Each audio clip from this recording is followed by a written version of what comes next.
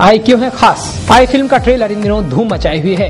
यह फ़िल्म हिंदी के साथ दो भाषाओं में रिलीज़ हो रही है। फ़िल्म 14 जनवरी को पोंगल के अवसर पर रिलीज़ हो रही है। फ़िल्म के डायरेक्टर शंकर का कहना है कि आई फ़िल्म बनाने का आइडिया उनके दिमाग में 15 साल पुराना है और वे पिछले तीन साल से फ़िल्म की मेकिंग में काम कर रहे हैं। फ़िल्म में विक्रम द्वारा निभाया गया एक कुबड़े के किरदार की तुलना हॉलीवुड फ़िल्म 300 के किरदार से हो रही है। आई में विक्रम चार अलग अलग किरदार करते हुए नज़र आएँगे। विक्रम ने बताया कि फ़िल्म में रोल की डिमांड के मुताबिक दिखने के लिए खुद को मॉडल की तरह बनाना था। उसके लिए अलग फिजिक चाहिए थी। मेरे साथ हमेशा फिजियोथेरेपिस्ट और डाइटिशियन की टीम रहती थी। इसके बाद मुझे करीब 20 किलो वज़न कम करना था। मैं दिन में 10 बार कम मात्रा का खाना लेता था। इस दौरान विक्रम को मेकअप करने में तीन और उतारने में डेढ़ घंटा लगता था। 20 लोग का मेकअप लगाने में पाँच घंटे लगते थे। विक्रम बताते हैं की बॉलीवुड के विलन्स में ऐसी वे गब्बर सिंह का रोल करना चाहते हैं।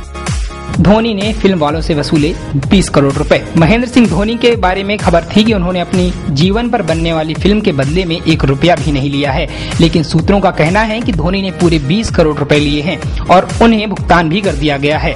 इस वजह से फ़िल्म का बजट बढ़ गया है और अब यह फ़िल्म 80 करोड़ रुपए में बनेगी। फ़िल्म में धोनी की भूमिका सुशांत सिंह राजपूत निभाएँगे।